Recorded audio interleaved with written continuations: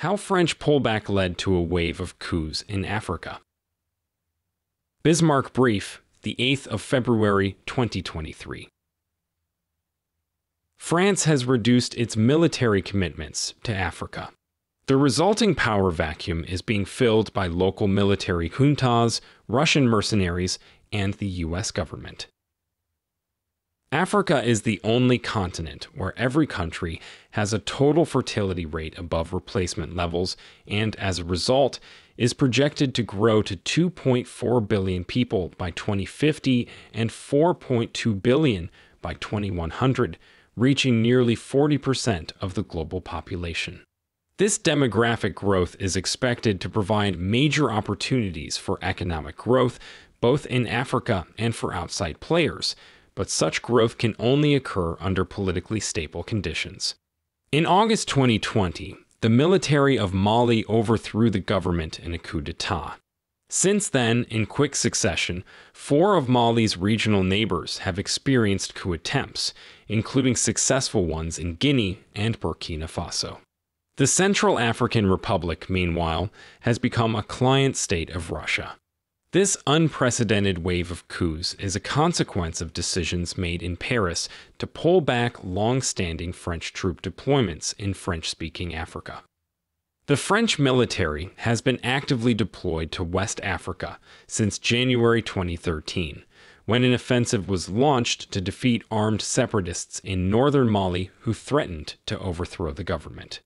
Initially successful, the deployment was formalized as Operation Barkhane in 2014 and expanded to neighboring countries, including Niger, Burkina Faso, and Chad. At its peak, Operation Barkhane involved 5,500 French soldiers. A United Nations follow on peacekeeping mission involved about 15,000 UN peacekeepers, including over 1,000 German soldiers. In early 2020, the French government loosened its commitment to military involvement in the region. French President Emmanuel Macron, newly elected in 2017, was unwilling to send more French troops to Africa to bring an end to the ongoing insurgencies, which had multiplied rather than subsided. Macron believed that France's relationship to Africa needed a reset or refoundation from its colonial past, and as part of that, France should allow African countries to solve their own problems. French military intervention, therefore, would be scaled back. An official change in strategy would be made to reduce the French military's geographical area of focus, request more troops from European allies and the UN, and encourage more initiative by local African governments. Most importantly, the threat of disengagement from Africa was on the table if local political elites did not cooperate with French demands, including for political reforms. At a high profile summit in France in January 2020, Macron met with the leaders of Mali, Niger, Chad, Burkina Faso, and Mauritania, and subsequently released a joint statement affirming their commitment to the change in strategy. Nevertheless, the local militaries did not succeed in taking the initiative, and major political reforms were not carried out. With the French government having made clear that French military support would not increase, France had effectively chosen to abandon its client states in West Africa. Instead, by August, the Malian military decided to take matters into its own hands and overthrew the civilian government.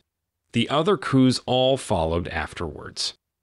Operation Barkhane was formally terminated in November 2022. The French military has completely exited both Mali and the Central African Republic and is in the process of exiting Burkina Faso shortly. Nevertheless, about 3,000 French troops are expected to remain in Niger and Chad, but will reportedly not engage in warfare independently, but only in cooperation with local militaries. Whatever military outcomes result from this change, the political outcome is that French prestige and influence in Africa has suddenly dropped, and along with it, the power of French backed local elites. All of the countries in question are former colonies of France. Although formal French colonialism ended in the decades after World War II, France nevertheless maintained a notable sphere of influence in its former African colonies, especially in West Africa. This informal empire was maintained through elite social and business ties with France, as well as through the large scale involvement of the French military, which was deliberately designed to be capable of rapid intervention in Africa. Local military commanders have used the power vacuum created by French pullback to overthrow their civilian leaders. But other players are also stepping in the United States and, surprisingly, Russia. While the U.S. has taken a new interest in Africa since 2020 and committed billions of dollars to aid, it has also had U.S. troops deployed in Africa for years, partially as part of assistance to France's Operation Barkhane. Russia, meanwhile, has emerged as a local player mainly through the presence of the private military company Wagner Group, led by Russian President Vladimir Putin's close friend and ally Yevgeny Prigozhin. Though the coup leaders desire regional stability and the end of mediation by foreign powers, they face the same basic problem as their civilian predecessors. Weak states that cannot suppress insurgencies or alleviate privation on their own necessarily come to depend on strong states, and in the process become client states. If France will not provide this support, perhaps the US or Russia will. It remains possible for France to reverse this strategic pullback in the future, but with Macron staying in office until 2027, it seems unlikely in the short term. At the moment, the coup leaders in Mali and Burkina Faso have both apparently invited the Wagner Group to assist, while the Central African Republic has had a relationship with the Wagner Group since 2018. For the Wagner Group, involvement in Africa is basically a business decision, since payment can be taken through leases on lucrative gold mines or other such natural resources.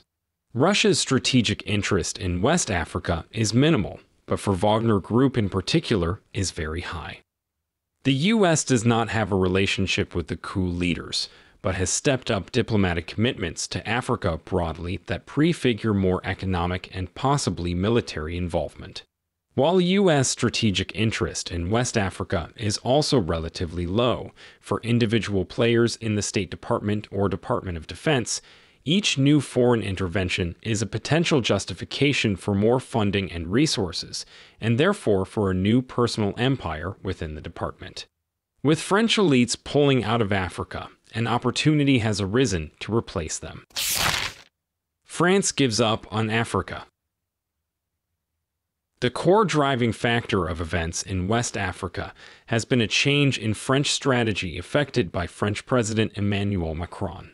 Since coming into office in 2017, Macron has been attempting a large scale reset or refoundation of French relations with Africa.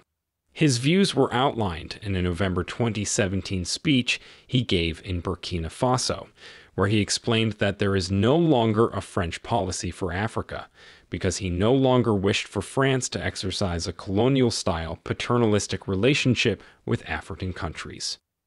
Macron's views are informed by both French and African academics who study European colonialism and its consequences. In 2018, for example, Macron commissioned a report from the Senegalese academic Felwine Sarr and French art historian Bénédicte Savoy on the restitution of African cultural heritage in order to return African artworks in French museums to Africa.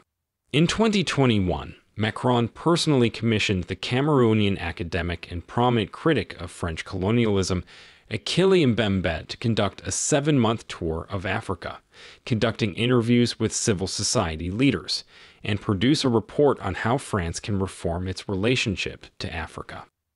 Many of Mbembe's eventual recommendations dovetail with Macron's policies and actions, such as, for example, the elimination of the CFA franc currency used in West and Central Africa. The CFA franc is guaranteed by the French Treasury, pegged to the euro, and comes in two mutually non convertible varieties, giving the French government significant monetary influence in Africa. Macron announced in 2019 that the CFA franc would be discontinued and replaced with a new independent currency called the ECO, although this has not yet happened due to the region's instability. While Macron openly and enthusiastically acknowledges the negative effects of European colonialism in Africa, he is not strictly attempting to dismantle French influence in Africa. Rather, in his view, both France and Europe broadly would benefit from stronger, more independent African states, and France would benefit from building relationships with African countries that were not former French colonies, including some of the continent's most populous countries, like Nigeria and South Africa. Nevertheless, Macron's strategy to achieve this goal seems mostly to be backfiring and resulting in the dismantling of French social and business ties to Africa without any superior replacement. In January 2020, Macron decided to apply his reformist views to the ongoing French military intervention in West Africa. Fearing a greater resurgence of armed insurgencies and unwilling to commit more French troops in response, the French government decided to reduce the geographical scope of Operation Barkhane and pressure pusillanimous allies in Europe and Africa to commit more resources and take more initiative in the ongoing warfare. Notably, Macron specifically wanted the government of Mali to finally implement a peace agreement reached in 2015 with the armed separatists in the north of the country, whose insurgency necessitated the original French intervention. Implementation of the agreement's provisions had stalled since it gave considerable autonomy to the separatists and required unwanted constitutional reforms of the Malian government. At the summit in Pau, France in January 2020, with the heads of state of Mali, Niger, Chad, Burkina Faso, and Mauritania, Macron communicated his new strategy and requested public commitment to the French presence. By August 2020, Mali's elected president Ibrahim Boubacar Keïta was deeply unpopular due to corruption, a stillborn parliamentary election, and poor economic conditions worsened both by the ongoing conflict and the onset of the COVID 19 pandemic. On the 18th of August, Malian soldiers stormed the capital and declared Keïta's resignation and the establishment of a transitional military government, emphasizing that the constitution was still in effect and that they wanted to maintain the military partnership with France. The French government did not interfere on Keïta's behalf beyond condemning the coup. In March 2021, units of the Niger military attacked the capital and attempted a coup two days before Niger's new democratically elected president was due to be sworn in. This attempt failed.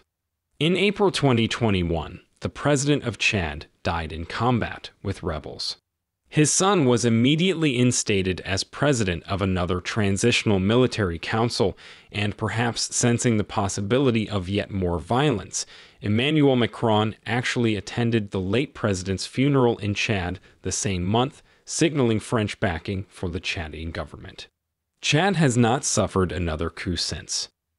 In September 2021, the military of Guinea overthrew President Alpha Conde. While Guinea was not on the front lines of the insurgencies, Conde had also become deeply unpopular after violently cracking down on opposition to his disputed third term in office. The month before the coup, he had announced both tax increases and reduced spending on the police and military. Conde was notably implicated in a corruption plot with French billionaire Vincent Bolloré, who was criminally charged in France for it. Once again, France did not intervene on Conde's behalf. In January 2022, the military of Burkina Faso overthrew the civilian government and announced that parliament and the constitution were suspended. In similar circumstances as Mali, Niger, and Guinea, the combination of economic privation, political corruption, and failure to end violent insurgencies made the government unpopular. But the deciding factor was not the unpopularity of the government, but rather the sudden willingness of national militaries to capitalize on unpopularity for a coup attempt. Such power grabs would previously have been kept in check by the threat of economic sanctions or even military intervention by France. For example, when the Malian military overthrew the government in 2012, France suspended all security cooperation with Mali. After the 2012 coup leaders agreed to return power to a civilian government under sanctions from both France and neighboring countries, France began planning its ambitious offensive that became Operation Barkhane. In 2010, when the president of Cote d'Ivoire refused to step down after losing an election, the French military assisted the opposition in removing him by force through a four month civil war. But having made clear that French military commitments to Africa would not increase in 2020, Macron intentionally or unintentionally signaled that France would no longer act as the regional hegemon and back weak leaders or states. This opened the door for coup attempts, and each successive coup reinforced this fact. In December 2022, Mali's northern separatists pulled out of the stalled peace plan with the Malian government, putting a decisive end to Macron's January 2020 gambit. In Mali and Burkina Faso, the coup leaders have made clear that they no longer want French support or intervention, military or otherwise. In February 2022, the Mali junta asked France to withdraw all troops immediately. France complied. In January 2023, the Burkina Faso junta did the same. France recalled its ambassador and complied again, announcing it would withdraw all troops within a month. Instead of France, the juntas in Mali and Burkina Faso have turned to an unexpected foreign backer Russia's premier state backed private military company, the Wagner Group. Russian mercenaries find a new market. The Wagner Group reportedly arrived in Mali in December 2021 with up to 1,000 mercenaries. Though not officially linked to the Kremlin, the private military company is understood to be a covert arm of state influence, with its leader, oligarch Yevgeny Prigozhin, providing counsel to Russian President Vladimir Putin. U.S. estimates from early 2022 held that 3 to 5,000 Wagner Group troops were present in Africa, though most of these are likely to be in the Central African Republic, where the Wagner Group has had a presence since 2018.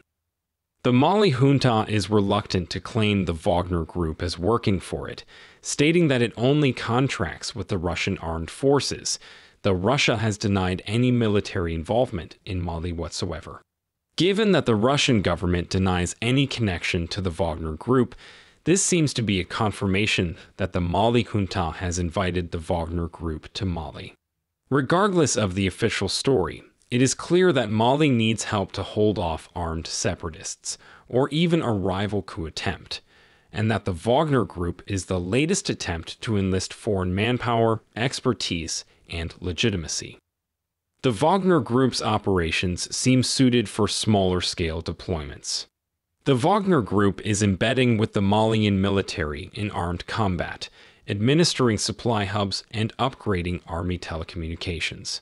As of late 2022, the Wagner Group lacked the material for airborne reconnaissance in the style of US and French troops in Mali and is mainly focused on tactical deployments. Given the group's increasing stature in Russia's war effort against Ukraine, however, they may eventually upgrade their capabilities and become a more technologically advanced private army. In addition to operating in Mali, the Wagner Group is suspected to have played a role in Burkina Faso's most recent coup. Notably, coup supporters demonstrated in the capital with Russian flags, what would otherwise be an unlikely sight in West Africa. It is likely, however, that in Burkina Faso's case, the collaboration with Russia is more formal than it is in Mali. Russian government officials have been quick to congratulate the junta in Burkina Faso on their victory, and reports leading up to the coup indicate that the military sought Russia as a supplier of heavy equipment that France would not provide. While the Burkina Faso junta has neither confirmed nor denied its new relationship with Russia or the Wagner Group, the country's new junta appointed prime minister, visited Russia in December 2022 and spoke positively of a partnership. The president of neighboring Ghana, meanwhile, has claimed outright that the junta has made an agreement with the Wagner Group and ceded a gold mine as payment in exchange for help fighting insurgencies. The entrance of the Wagner Group to conflict in West Africa has limited the ability of French and U.S. forces to maintain their presence there. The French withdrawal from Mali in August of 2022 was precipitated by the Wagner Group taking control of areas formerly under French jurisdiction. New Malian legislation has required 72 hour notice for surveillance flights, which renders French and U.S. intelligence gathering operations ineffective. For the Wagner Group, entering mercenary service in Mali and Burkina Faso would simply be a continuation of its successes, doing so in the Central African Republic, which has used the group for military training, security, and warfare with rebels since 2018. In return for successfully protecting the Central African government, the Wagner Group has received an untaxed license to source and export diamonds, gold, and timber from the country. Meanwhile, France finished withdrawing its 1,600 troops from the country in January 2023, blaming its withdrawal on the Central African government's decision to work with the Wagner Group. The parallels with French pullback in Mali and Burkina Faso are clear. It is important to note that, though linked to the Kremlin, the Wagner Group is not necessarily representative of the motivations or goals of the Russian government, and it is unlikely that Russia is using the Wagner Group to secure resource claims or geopolitical allies. In addition to Russia's own vast natural resources industry, which needs no competition, West and Central African states simply lack the infrastructure and expertise to process and export their wealth of natural resources, including oil, gold, diamonds, bauxite, and uranium at a scale that would make them strategically relevant. All of the states with Russian involvement, moreover, are landlocked. Russia has very few economic ties to the region as a whole. Russian trade with sub Saharan Africa is approximately a quarter of the United States' trade and less than one tenth of China's. It does not provide significant foreign direct investment, nor is it involved in development initiatives or sustained humanitarian aid. For the Wagner Group narrowly, however, employment as mercenaries in Africa can prove to be a powerful foundation for the company's international empire, bringing in presumably large and much needed streams of revenue. U.S. involvement in Africa is ready to increase. Though not primarily associated with Africa in common usage, the war on terror is, in fact, the primary justification for U.S. involvement in West Africa. Starting in the early 2010s, conflicts in the Middle East and North Africa spilled over into the Sahara, the Sahel region, and even sub Saharan Africa as Islamist forces reorganized and regrouped from defeats in Libya, Syria, Iraq, and elsewhere giving rise to regional cells and ultimately spreading their influence. Many of the insurgent groups fighting in Mali, Burkina Faso, Niger, and Chad are explicitly Islamist or jihadist. Africa had previously proven to be a fruitful space for insurgencies to incubate. Al Qaeda leadership chose to shelter in Sudan in the 1990s, for example, and Algeria has had a long history of Islamist attacks. But as the U.S. pressured Islamist cells in the Middle East and North Africa, a resurgence of activity emerged in Africa. To contain the insurgencies, which were fought by interconnected militant groups associated with Al Qaeda, ISIS, Somalia's Al Shabaab, and Nigeria's Boko Haram, the U.S. invested in training and arming state military forces in Africa through the 2002 Pan Sahel Initiative and the 2005 Trans Saharan Counterterrorism Partnership. These programs were combined into the U.S. military's Africa Command, AFRICOM, as of 2008, with the stated goals of neutralizing extremism in Africa and building peacekeeping and disaster response capabilities in local forces through material support and training programs. It is not the case that the U.S. unlawfully invaded African states. U.S. presence is justified under the 2001 authorization for use of military force, a congressional resolution authorizing the deployment of the U.S. military against those responsible for the September 11th attacks. AFRICOM further justifies its presence by generally not engaging in armed counterterrorism instead billing itself as a peacekeeping and training force similar to the UN. However, AFRICOM has ultimately given the US a reputation for employing local militaries as proxy forces in the war on terror. The US policy of maintaining a light footprint in Africa actually leads to significant enmeshment with local militaries, much of it off the books. At present, AFRICOM is staffed by approximately 2,000 troops based out of its headquarters in Stuttgart, Germany, although the actual number of troops working in service of AFRICOM are higher due to training, personnel transfer, and material support. Between 2013 and 2017, U.S. Special Forces saw combat in at least 13 African countries, and though operation names and general purposes are mostly common knowledge, the full extent of the programs are not. These programs, known as 127E programs, after the budgetary authority that allows U.S. Special Forces to use foreign military units as proxies, allow the U.S. to run small and self sufficient counterterrorism operations, and also employ foreign troops in countries where the U.S. is not officially at war. The 127E programs are highly secretive, and there is little consensus regarding which operations are still ongoing. Other U.S. military interventions in Africa are better known. Since the NATO intervention against Libyan strongman Muammar Gaddafi during the Libyan civil war of 2011, U.S. presence has increased in North and West Africa. In 2012, Operation Jukebox Lotus gave AFRICOM the authority to operate freely in Libya during crisis response.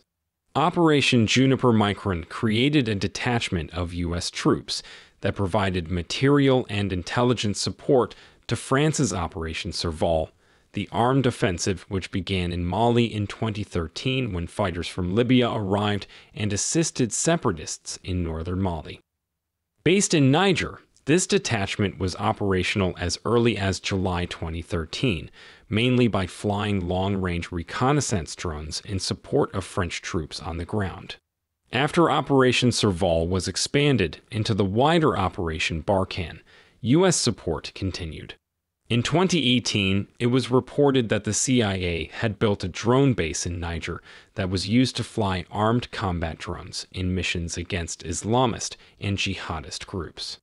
The U.S. military has also regularly provided airlifts for French cargo and troops from its Niger bases. U.S. support for French military operations in Africa is not new, as the U.S. tacitly supported French colonial and post colonial interventions during the Cold War to counteract Soviet influence in the region. Despite more than $850 million spent since 2011 on Libyan operations alone, the results of U.S. long term counterterrorism operations in Africa have been mixed at best. In each of these conflicts, short term gains for U.S. and French forces created a terror diaspora pushing conflict into other areas of Africa and leaving local governments vulnerable to takeover, weakened both by expenditures in combat and reliance on foreign manpower and material.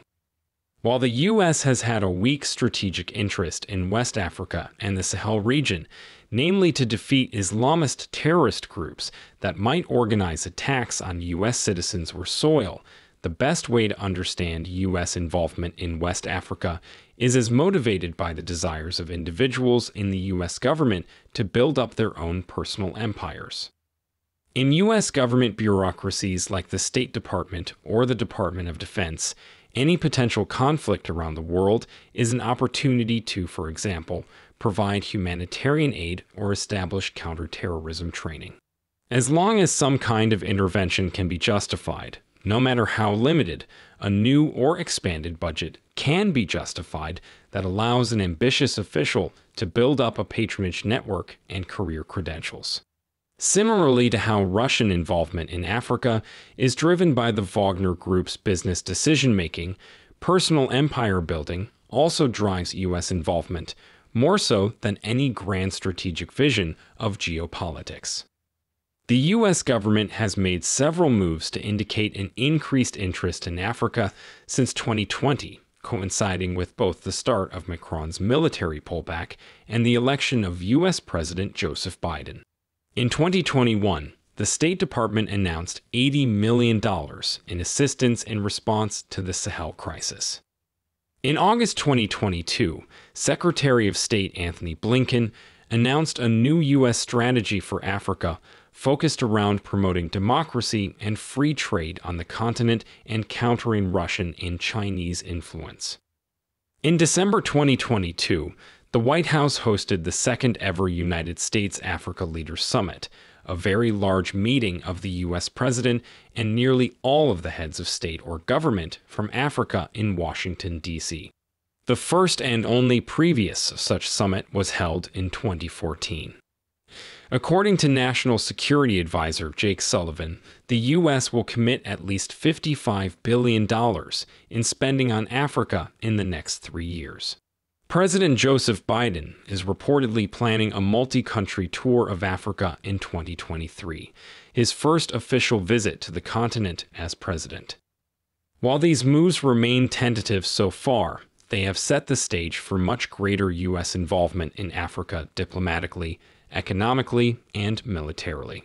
U.S. officials are also keenly aware of the Wagner Group's activities in Africa a bill introduced in the U.S. Senate to classify the Wagner Group as a terrorist organization lists alleged war crimes in Mali and the Central African Republic, among other places. Assuming the juntas in Mali and Burkina Faso, or the government of the Central African Republic, survive long enough, it would not be unreasonable to expect U.S. support to overthrow them in the next few years, whether covert or overt, in an attempt to damage Russian interests. Emmanuel Macron's reset of relations with Africa looks like it is failing. France has simply lost economic, social, and military ties to the continent with no clear gain. This reduces French strategic autonomy and has already created new opportunities for Russia and the United States to expand their own empires at France's expense. It seems unlikely that the military juntas will produce live players able to forge strong states out of weak ones, so it is a foregone conclusion that Africa's weak states will come to rely on other foreign powers. If not France, it seems most likely to be the United States, though in the coming decades it is also possible that China, Russia, or even Morocco learn to become such patrons as well.